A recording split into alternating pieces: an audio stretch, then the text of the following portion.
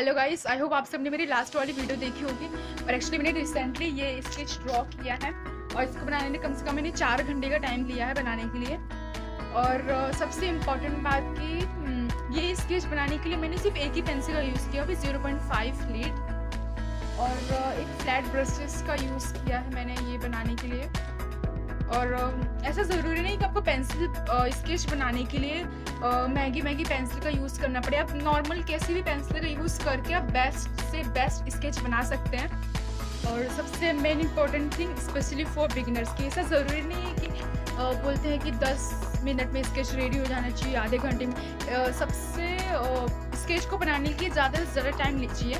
जितना ज़्यादा आप टाइम लेंगे, उतना ज़्यादा आपकी स्केच में प्रोग्रेस होगा। रिज़ल्ट पे बहुत जल्दी रिज़ल्ट पे फोकस मत कीजिए कि मैंने एक घंटा टाइम लिया तो मेरा स्केच अभी तक कंप्लीट नहीं हुआ अच्छा नहीं बन रहा है, वगैरह वगैरह। ऐसा कुछ भी ज़रूरी नहीं है। और ऐसा भी ज़रूरी नहीं कि आपको स्केच बनाने के लिए महँगी महँगी पेंसिल का यूज़ करना पड़े